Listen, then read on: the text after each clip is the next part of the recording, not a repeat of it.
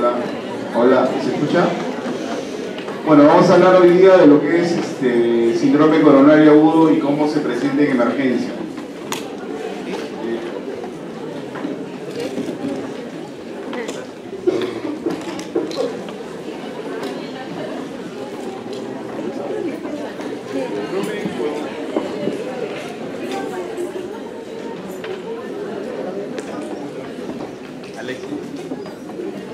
Bueno, coronario agudo se presenta este, frecuentemente en emergencia. Es una constelación de...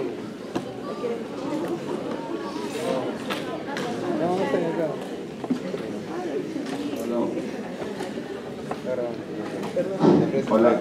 Bueno, le decía que esto es una enfermedad bastante común, motivo de mucha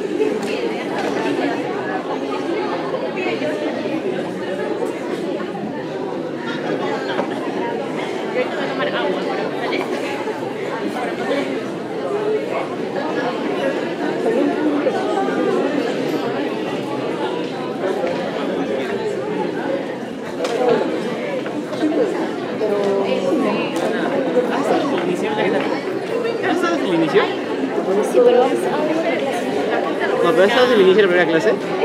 Ay, ¿me llamo Mi?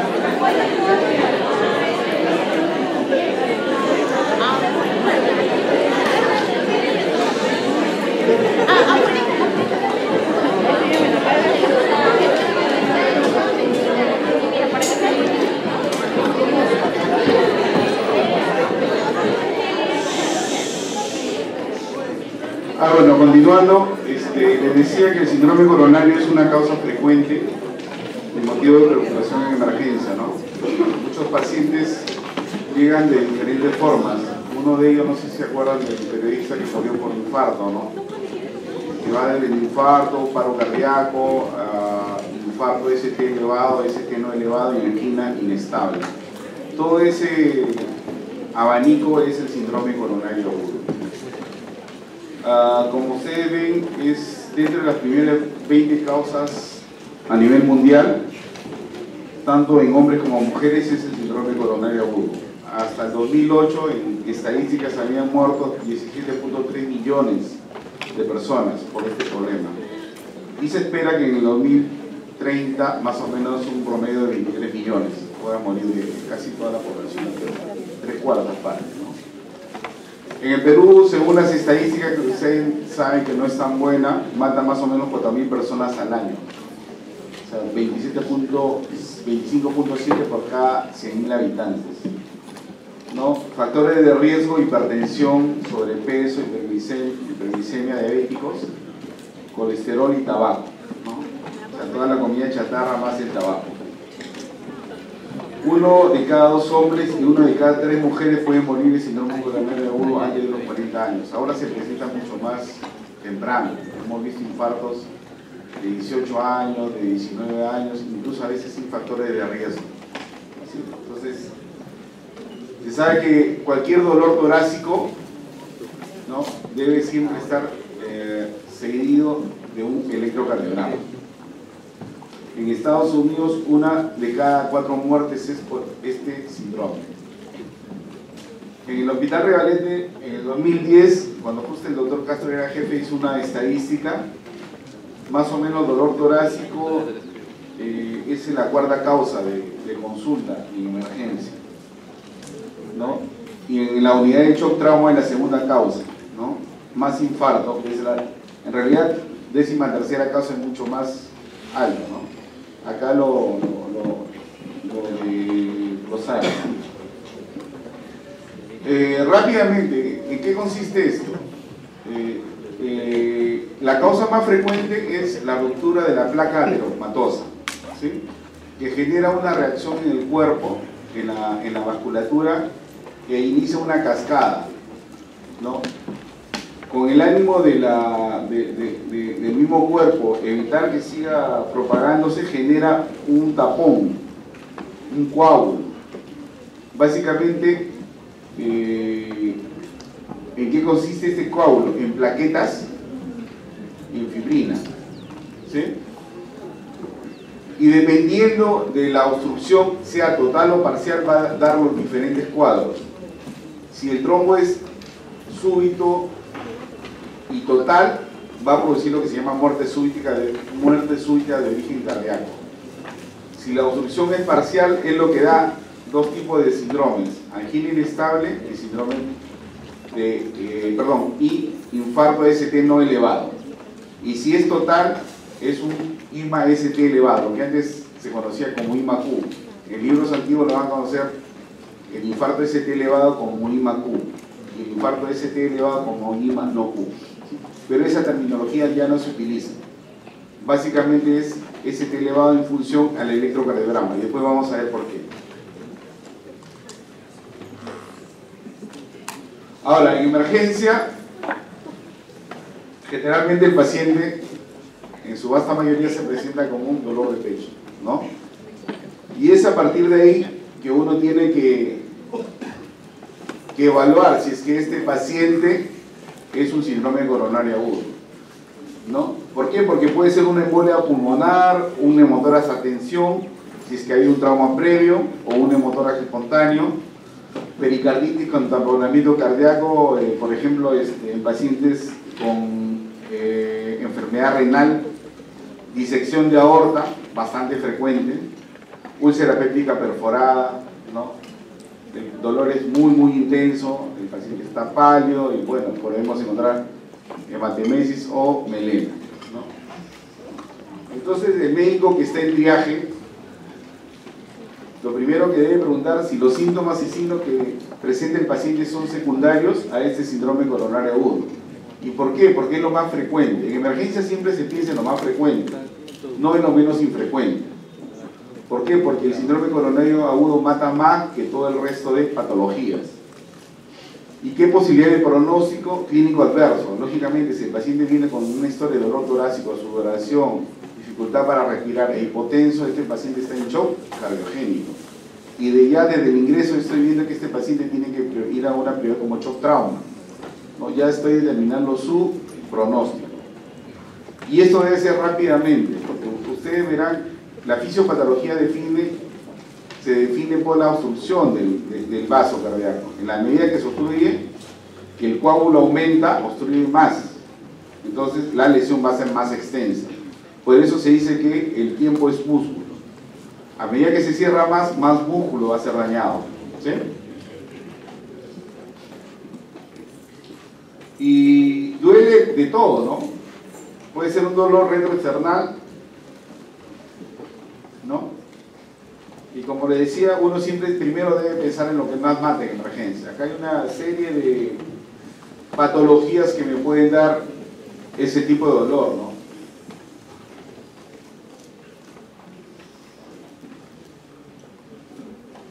Entonces decíamos que el síndrome coronario agudo es una abrupta interrupción del flujo sanguíneo por ese coágulo, ¿no? Que provoca isquemia y eventualmente necrosis. Eso lo vamos a ver en el, la parte de, eh, concepto de infarto. Entonces me da un espectro, angina inestable, infarto ST no elevado, infarto agudo del miocardio, ST elevado. O sea, se divide en dos grupos. Y otro que no está, que sería muerte súbita, pero que eso ya lo notaron anteriormente. ¿Y en qué consiste la evaluación? Los pilares de siempre, la historia clínica, el electrocardiograma, los biomarcadores cardíacos, imágenes y patología. Últimamente está tomando mucho impulso lo que es imágenes. La historia clínica nos dice de la naturaleza de los síntomas anginosos, la historia previa y los factores de riesgo. Es lo que yo debo puntualizar rápidamente. El EKG lo que busca son los cambios isquémicos y cuando es mucho más tarde los cambios que producen la necrosis. Y los biomarcadores cardíacos son la manifestación de la necrosis cardíaca. ¿sí? Acuérdense, biomarcadores cardíacos es igual a necrosis. Tiene que haber un infarto. Infarto es sinónimo de necrosis, a diferencia de angina. Angina es disminución del flujo sanguíneo, que provoca dolor igual. La diferencia es que si ese tiempo de obstrucción es demasiado largo, va a producir necrosis. Y ahí se produce el infarto. ¿Sí? Esa es la gran diferencia entre angina e infarto. En la historia clínica, lógicamente, el dolor típico, ¿no?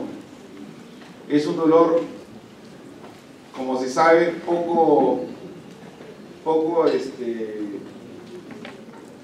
dolor o disconfort que el paciente lo expresa como una opresión que se puede irradiar a ambos brazos. Eh, hay eh, estudios que indican que el dolor que se irradia brazo derecho es mucho más eh, sensible y específico que aquel que se irradia al lado izquierdo. Hay un, en el artículo que ustedes si lo leen, Evaluación del dolor torácico en emergencia, del 2017, en Clínica de Cardiología aparece eso, ¿no? que estadísticamente se ve que el dolor irradiado a brazo derecho es mucho más eh, sensible e incluso irradiado a los dos brazos es mucho más sensible que solamente irradiado brazo izquierdo. Esto va acompañado a veces o no de cambio vegetativo, ¿no? sudoración, mareos, náuseas, vómitos y falta de aire. Todo eso eh, constituye lo que es una angina. El tiempo que dura es lo que me va a determinar si es una angina, eh, un síndrome coronario agudo. O sospecha, por ejemplo, si este, estos síntomas demoran más de 20 minutos. Y en pacientes coronarios, si es que no calma con dos tabletas de isorbide. ¿sí? Y algo importante es en qué momento ocurre este dolor. Por ejemplo, con esfuerzo o en reposo. Estadísticamente se sabe que aquel dolor o aquella molestia que ocurre en reposo es mucho más peligrosa que, aquella que acude que lo dispara un ejercicio. Frecuente, por ejemplo, en la mañana aquel, aquel, aquel, aquella persona que se levanta, levanta el capó del carro y de repente comienza dolor, ¿no? dolor de 7 de la mañana, que, es bastante frecuente el infarto a esa hora, ¿no? esfuerzo físico inesperado. ¿no?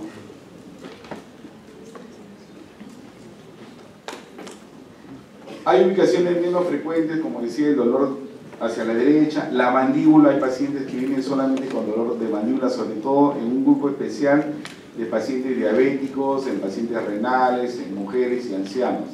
En ese tipo de pacientes puede presentar este tipo de eh, molestias.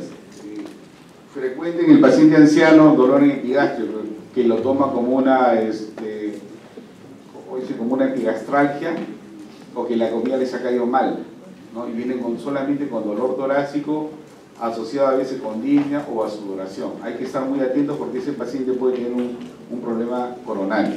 ¿no? Dolor solamente de espalda, se ha visto casos. ¿no? Esto es lo que se llama equivalente anginoso, o sea, no es el cuadro característico, sin embargo es un síndrome coronario. ¿sí? Dolor solamente de espalda, de mandíbula, lado derecho y epigastrio. Y como le decía, en grupos de alto riesgo, ¿no? diabéticos, mujeres, renales, ancianos. En cuanto a los factores de riesgo, eh, hay cosas modificables o situaciones modificables como por ejemplo el sexo masculino, edad mayor de 55 años, mujeres menopáusicas y herencia. O sea, aquellos que han tenido familiares previamente que han muerto o han tenido infarto, ¿no? eh, inmodificables, tabaquismo, tabaquismo, dilipidemias, hipertensión, diabéticos, sedentarismo, obesidad y alcohol. Lo calificamos casi para todo. ¿no? Estos son modificables, es decir, que con una vida, el cambio de, de actitud puede mejorar el pronóstico de este paciente.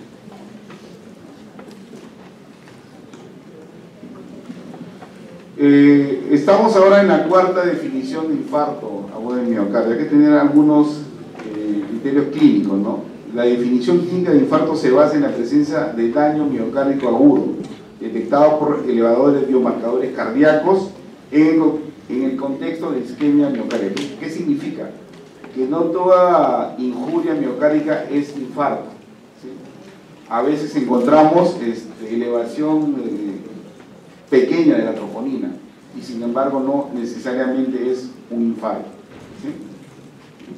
Ahí entran los infartos, los tipos de infarto, ¿no? Por ejemplo, el infarto de miocardio tipo 1 al, al cual nos estamos refiriendo es lo que le decía, ¿no? Es aquel infarto que ha provocado la ruptura de una placa ateromatosa y ha generado una obstrucción del flujo. Ese es el infarto de tipo 1. ¿no? Es decir, tenemos una troponina positiva y al menos una de las siguientes condiciones, síntoma de isquemia miocárdica, cambios en el EKG, aparición de ondas Q, evidencia por imágenes, ecografía, eh, ecocardiograma, sobre todo para ver la pared, la movilidad del corazón, de la pared del corazón, o cuando es demasiado tarde, identificación del trombo, alguna autopsia. El infarto tipo 2 es lo mismo, pero no se relaciona a trombosis coronaria. O sea, tiene los mismos síntomas, síntomas de isquemia miocárdica, nuevos cambios en el EKG, aparición de onda Q, eh, el ecocardiograma, lo que se llama aquinesia o hipocinesia de la pared del ventrículo, presumiblemente nueva. ¿no? Por ejemplo, acá se encuentra la anemia, ¿no? se encuentra este, la taquicardia, tirotoxicosis, hipertensión, que producen un daño sin haber una placa de por medio. Quiere decir que estos, estos pacientes, por ejemplo, no se van a beneficiar con angioplastía. Si simplemente reponer, si es una taquicardia supraventricular sin compromiso coronario, perdón, sin placa teromatógrafa, simplemente es cuestión de bajar la frecuencia. Si es un paciente anémico, lo que se hace es transfundirlo. Si es un paciente con tirotoxicosis, lo que se hace es frenar esa tirotoxicosis. El infarto tipo 2 es la muerte súbita cardíaca, ¿la han visto? El infarto tipo 4 y tipo 5 es relacionado a procesos, a ICP, intervención coronaria percutánea y bypass. Decía que el sobrepeso es una epidemia, ¿no? Miren este porcentaje de, estamos entre 10 por cada 100, 10, 10% la parte de nosotros, ¿no? Tenemos bastantes niños con sobrepeso. Entonces, este, se nos acerca o estamos ya en una este, epidemia de lo que es el síndrome coronario 1, ¿no? Ahora, en cuanto al diagnóstico, básico es un electrocardiograma. Eh, el electrocardiograma eh, nos va a indicar el diagnóstico y a la vez el tratamiento. Todo paciente que llega con dolor torácico, con línea que no tiene explicación, debe tener un electrocardiograma. ¿Y en qué tiempo debo hacerlo? Dentro de los 10 minutos, ojo, dentro de los 10 minutos que ha llegado el paciente, no después. No importa quién lo realice. En otros países, como en Estados Unidos, incluso el paciente viene con dolor torácico, quien toma el electro es en la parte administrativa, quien lo recibe. Dolor torácico pasa inmediatamente a la camilla y le toman su electrocardiograma. El que interprete es el médico dentro de los 10 minutos, desde que llegó el paciente a la puerta hasta que le tomamos. No debe pasar más de 10 minutos. Cuando más rápido, mejor. ¿Por qué? Porque ¿cuál es el objetivo de, ese electro? Ubicar esta imagen, un ST elevado. ¿Ven como un conejito? ¿Sí? O sea, si yo tomando el electro veo esa imagen, estoy ante un infarto ST elevado. Porque justamente el sector que ve la isquemia en el electrocardiograma es el ST. Como consecuencia de una isquemia, este se va a elevar. Y estos pacientes son tributarios inmediatos de hacerle angioplastía, ponerle stent. Por eso es el apuro. Porque se sabe que esto es consecuencia de una obstrucción total, total, de la arteria coronaria.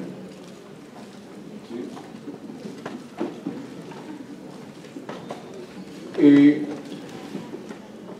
hay pacientes que tienen un electrocardiograma que puede ser que tenga algunos cambios parecidos a ST, pero siempre es bueno que tenga el anterior si es que lo tuviera, si es que ha tomado. O sea, comparar electros es muy bueno. De repente tiene ya la imagen previa, por ejemplo, se da en aneurisma de ventrículo derecho o aneurisma de ventrículo izquierdo, perdón. Este, si uno tiene un electro previo, lo comparas, uno ya puede respirar tranquilo, ¿no? Y algo muy importante, un paciente puede tener un infarto y tener un electrocardiograma normal. ¿sí? O sea, el hecho de tener un electrocardiograma normal no me descarta que tenga un infarto o una angina. ¿Sí? Y esto ha sido motivo de muchos, eh, en Estados Unidos sobre todo muchos juicios. El electrocardiograma, el que le dan de alta al paciente, el paciente va a su casa y se muere. Entonces, el electrocardiograma da un diagnóstico pero no descarta, porque vuelvo a repetir, un electrocardiograma normal no descarta que sea un infarto. Y que puede ser en algunos estudios hasta un 50%. Criterios es elevación del, del ST al menos dos derivadas de 2 milímetros, en varones o 1.5, en mujeres en las derivadas B2, B3. Y mayor de un milímetro de otras derivadas. Y además bloqueo de rama izquierda, aunque últimamente también han agregado bloqueo de rama derecha. En el último, este, justamente en el último consenso diagnóstico han agregado bloqueo de rama derecha, compatible con un problema coronario, o sea, con síntomas coronarios o síntomas de dolor torácico. Esta es la imagen de un bloqueo de rama izquierda, grábense, no necesitan ver el resto de derivadas, solamente eso. Y como ven, el ST elevado en unidad B4, B3, B5, B6. 2, 3 y ABF. Entonces, lo que le decía, que el EKG me permite tener o hacer una primera estratificación. Aquellos que tienen ST elevado y por lo tanto se llaman infarto agudo, IMA ST elevado. ¿sí? Y aquellos que no tienen ST elevado, que pueden tener varias características, que va desde lo normal hasta cualquier cosa. Un ST deprimido una T invertida, cambios inespecíficos. Todo eso se llama hasta ese momento ST no elevado.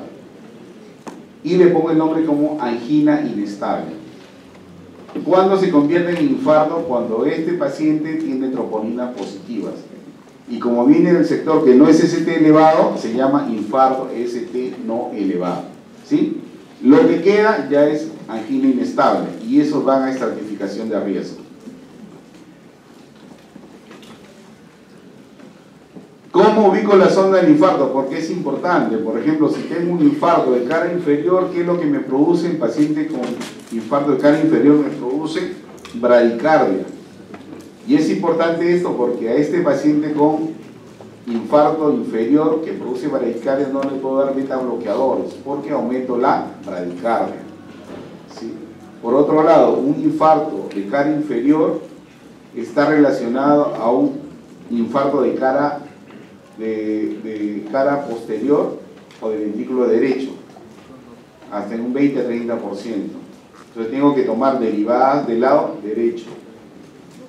Cuando toman un electrocardiograma, no sé si han percatado que todos lo ponen a la izquierda, ¿no? Para tomar ventrículo derecho, todos lo ponemos a la derecha para ver si es que está comprometido el ventrículo derecho en un infarto de cara inferior.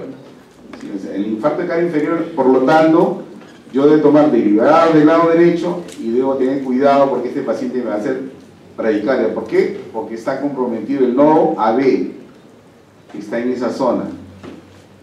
El nodo AB, cuando se compromete, produce bradicardia. A diferencia de la cara anterior. La cara anterior este, va desde B1 a B2, B3, B4. Estos pacientes me hacen taquicardia ¿sí? Es mucho más frecuente en infarto cara anterior que me haga taquicardia. En ellos sí debo utilizar beta bloqueadores, ¿sí? con mayor frecuencia.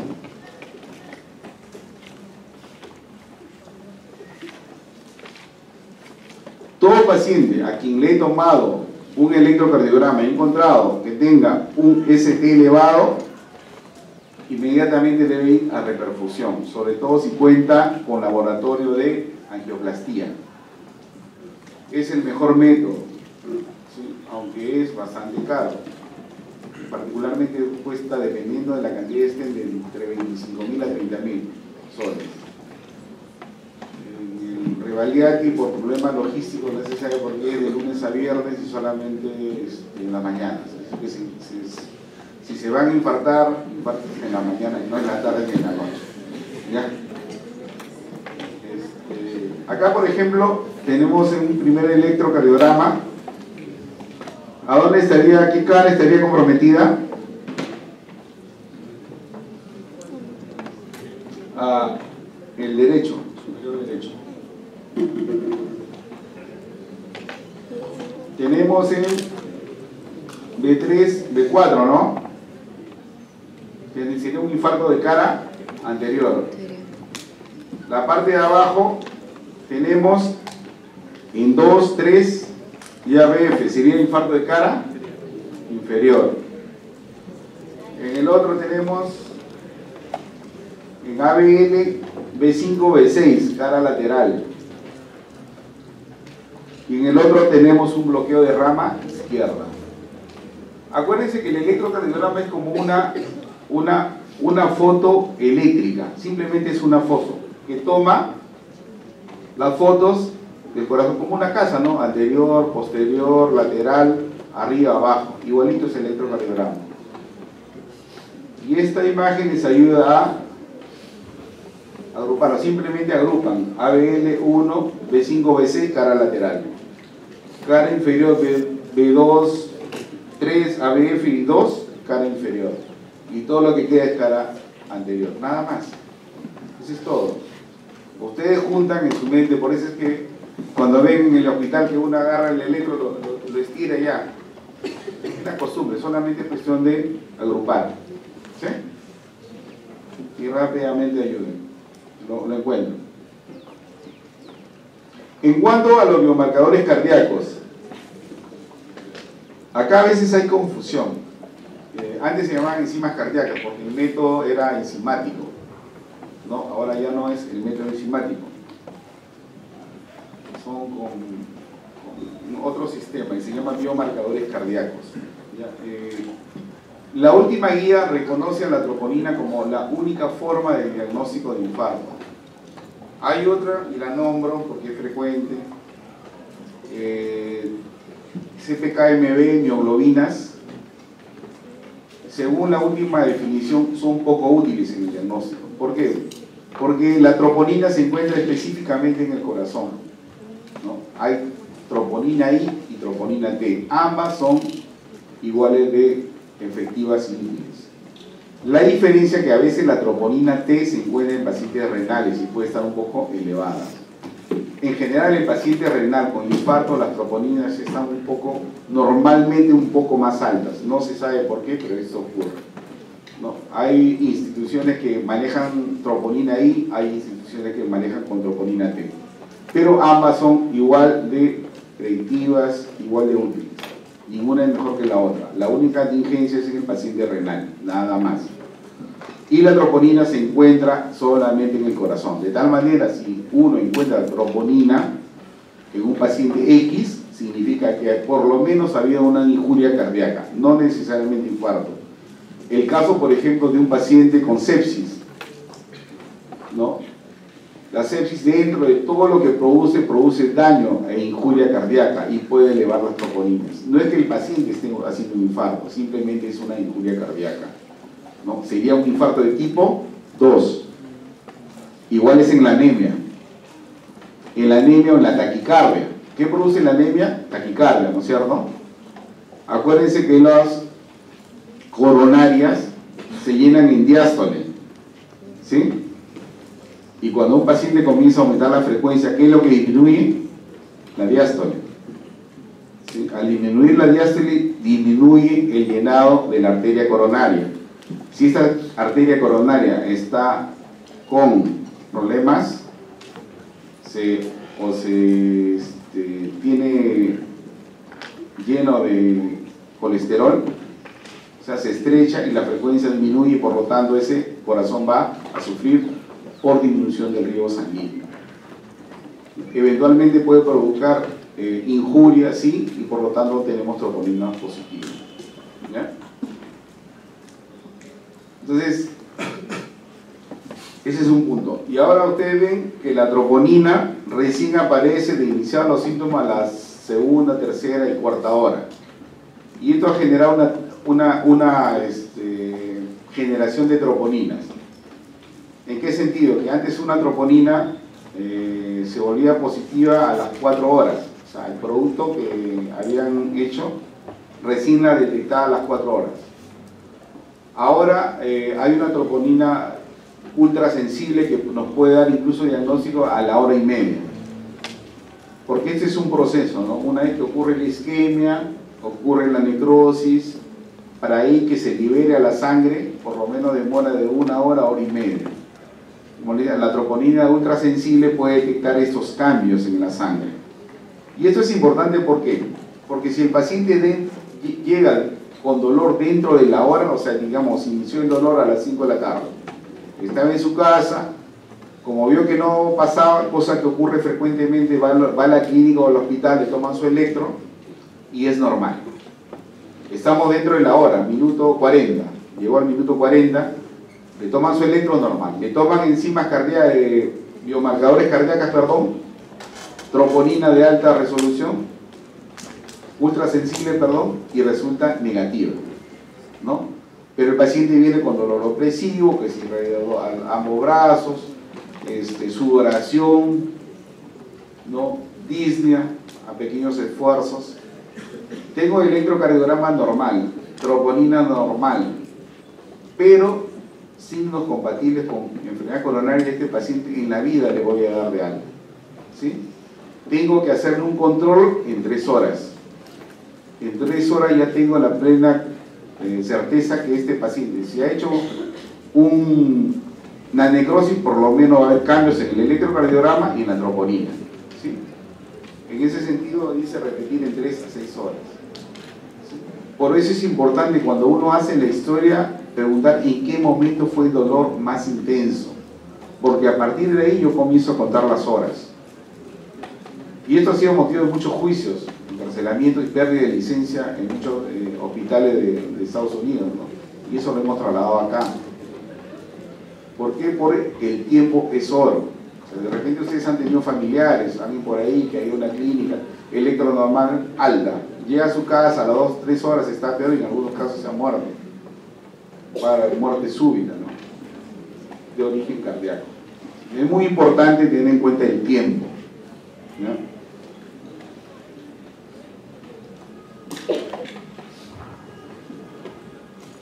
Otro marcadores cardíacos, como le decía, ya desde el 2014 ratificado, del 2018, eh, CPK, MB y mioglobina ya no forman parte del diagnóstico. ¿Por qué? Porque son poco sensibles y se encuentran en músculos esqueléticos, incluso en la lengua, ¿no? En pacientes este, en el útero también se encuentran. Me acuerdo un caso de un paciente sin síntomas que le tomaron, no sé por qué, CPKMB, que tenía lesión en lengua. Eso sí lo presenciado y tenía tres veces el valor normal. Entonces decíamos que aquellos pacientes que no tienen ST elevado deben ir ya, eh, que van a angioplastía, me quedo con el otro grupo, que son troponinas negativas, ellos van a una estratificación de riesgo y hay varias escalas. Escala como Kidney, Grace, que me predicen si este paciente va a empeorar o no y sobre todo me van a ayudar a elegir el tratamiento, ¿no? Eh, el uso de heparina de bajo peso molecular, inhibidor de glicoproteína 3, 2B3A y estrategia invasiva temprana, ¿no? Es lo que se probó, que es lo que se estila hoy en día. Acá tenemos un score de, de, de cálculo de riesgo de Kimi que lo pueden hacer en casa, determinar la, la gravedad, ¿no?